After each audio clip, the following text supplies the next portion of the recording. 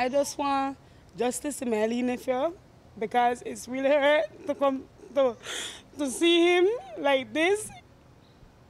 And I just want the public to know it was really chance that like it was a 50-50 with my nephew in his in with his life and I really, really, really, really want the media to know we really, really, really, really fighting for justice right now for my nephew. He almost cost for his life.